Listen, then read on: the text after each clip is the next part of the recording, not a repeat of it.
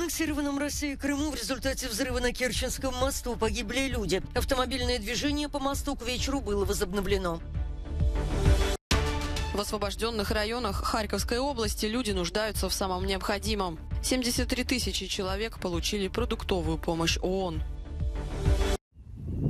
В аннексированном России Крыму в результате взрыва на Керченском мосту погибли по меньшей мере три человека. По факту взрыва возбуждено уголовное дело и создана правительственная комиссия во главе с вице-премьером Российской Федерации Маратом Хуснулиным. Инцидент произошел в субботу. В 6 часов утра на Керченском мосту, по версии следствия, был подорван грузовик. Загорелись цистерны с топливом, находившиеся в железнодорожном составе. Обрушились два пролета автомобильной части сооружения. Движение было остановлено. Керченский Керченский мост для России важная логистическая цепочка. В российском парламенте, а также в назначенной Москвой крымской администрации считают, что взрыв устроили украинские спецслужбы. Сейчас, как сообщается, по мосту возобновилось движение автомобилей и автобусов. Ранее крымчан призвали проявлять спокойствие и терпение. Хочу заверить крымчан, то есть первое, топливо в наличии больше, чем на месяц. У нас полностью никакого ажиотажа быть не должно. Продовольственные запасы больше, чем на два месяца практически по всем направлениям. Рисков в этой части никаких нет. Прошу всех крымчан соблюдать спокойствие, всех гостей Крыма в данном случае тоже прошу набраться терпения. В украинской столице новости о взрыве на Керченском мосту встретили с энтузиазмом. Люди фотографировались у плаката с изображением марки со взрывами на мосту. Чудово. Насправді... Это было чудесно. Когда я проснулась и прочитала новости, я подумала, что... Что? То есть я в принципе ожидала, что что-то произойдет, потому что вчера был день рождения Путина, и ему исполнилось 70 лет. Поэтому я ждала подарка от вооруженных сил Украины. И это произошло с небольшой задержкой, но такова жизнь. Пусть диктатор нас простит. Це життя, хай вибачає диктатор нас. Построить Керченский мост президент Путин поручил после аннексии Крыма. Мост, открытый в 2018 году, используется в том числе для снабжения российской армии на юге Украины. В освобожденном украинской армии Лимане в Донецкой области местные власти приступили к восстановлению разрушенных жилых зданий и подготовке города к зиме. В результате боев в находившемся около четырех месяцев под российской оккупацией Лимане почти не осталось неповрежденных домов. Во многих помещениях нет электричества, газа и воды. Фактично в усіх деокупованных, звільнених Почти у всех освобожденных населенных пунктов одна и та же проблема. Во-первых, они полностью разрушены. То есть инфраструктура, дома, все в руинах. Это первая проблема. Кроме того, люди нуждаются в психологической помощи. Местная жительница Татьяна вспоминает, как в ее дом попал снаряд, и говорит, что им с дочерью чудом удалось остаться в живых. Тут вроді да, були вдома. Оце ж тут стіна була. От, дочка, я в ванной там спала. От там ванна. А дочка отут була. И як нас не, не повбивало вообще. После освобождения Лимана в город прибывает первая гуманитарная помощь. Возобновлена выплата пенсий. Власти оценивают нанесенный российской оккупацией ущерб. Местный житель Александр говорит, что не сомневался в возвращении в город украинских военных. Вони освободять нас від цього іга російського, яке вторглося на нашу країну. Лиман находился под контролем российской армии с 25 мая по 1 октября. По данным ООН, 73 тысячи человек получили продуктовую помощь в районах Харьковской области, которые Украина вернула под свой контроль. Это почти половина местного населения, сейчас проживающего на данной территории.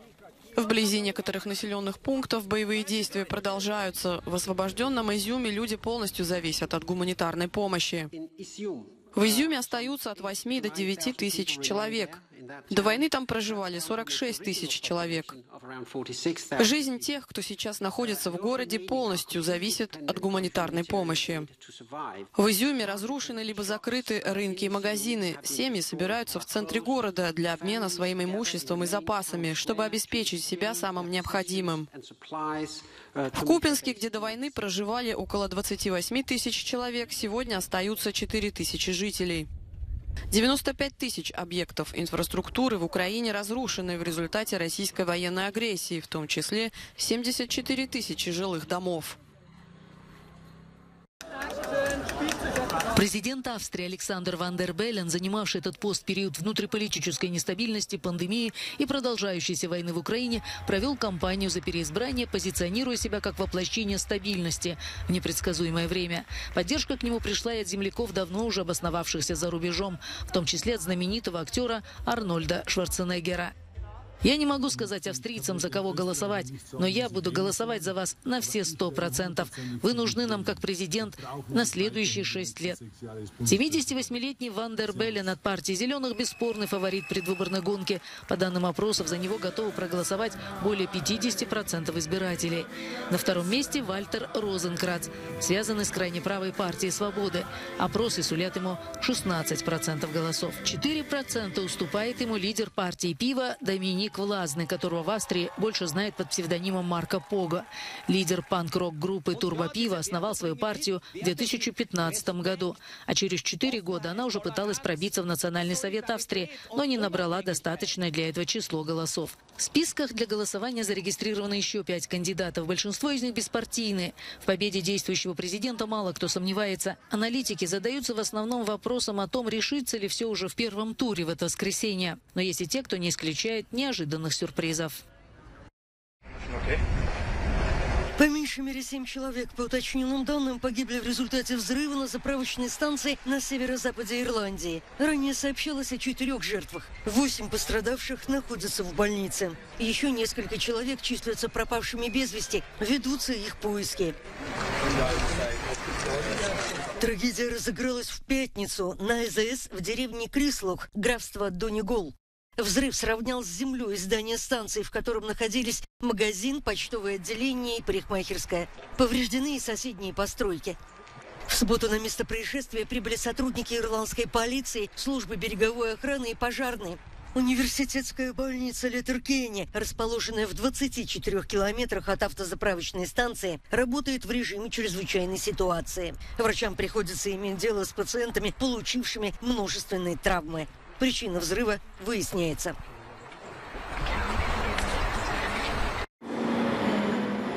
Ретроспективная выставка картин нидерландского художника Винсента Ван Гога открылась в Палаце Бонапарте в Риме. 50 работ позаимствованы у музея Крюллера Мюллера в Нидерландах, который может похвастаться одним из самых больших в мире собраний картин Ван Гога.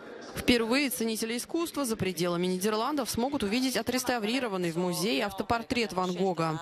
С помощью работ, которые мы выбрали в музее Крёллера Мюллера, мы пытаемся рассказать историю Ван Гога во всей полноте, начиная с его первых работ, которые он создал в 1881 году, когда решил, что точно хочет стать художником, понял, что это его путь и начал творить. На выставке представлена одна из последних картин Ван Гога «На пороге вечности», известная также под названием «Старик, опустивший голову на руки». За свой короткий творческий путь длиной в 10 лет Ван Гог создал более 2000 произведений.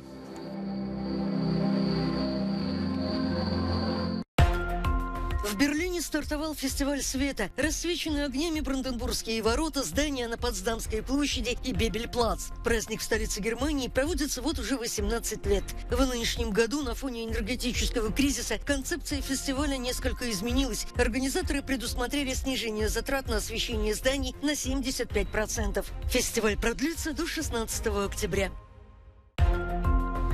Фанаты косплея радуются. Знаменитый нью-йоркский комик-кон возвратился в нормальное русло. Этот фестиваль – одно из крупнейших в мире событий в индустрии массовых развлечений. Он привлекает тысячи фанатов комиксов, телесериалов и компьютерных игр. Стоимость билетов от 24 до 212 долларов. VIP-билет обойдется в 502 доллара.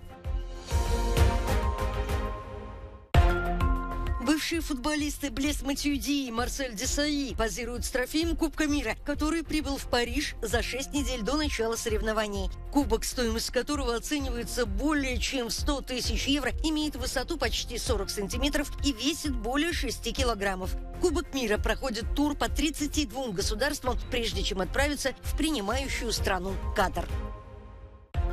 В аргентинском городе Ла-Плата собрались футбольные фанаты. Они требуют привлечь к ответственности причастных к смерти болельщика, который скончался от инфаркта по пути в больницу в ходе столкновения во время футбольного матча между клубами Бока Хуниорс и Гимнасия Иксгрима. Столкновения произошли в четверг, когда около 10 тысяч человек, которым не хватило места на стадионе, попытались прорваться через ограждение.